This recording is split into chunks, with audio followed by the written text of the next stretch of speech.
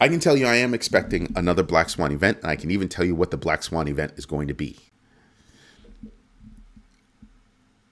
Since the government has, since the US government has been in shutdown, many people over at the CDC have been fired, have been let go.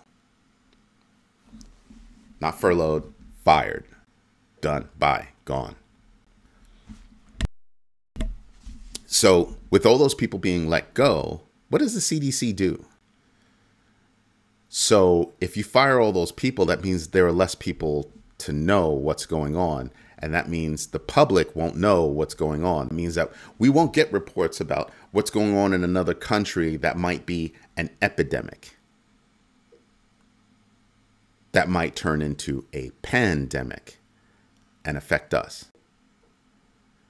We don't know that what might happen in another country health wise could hit, let's say, exports, imports, massive effects. Okay.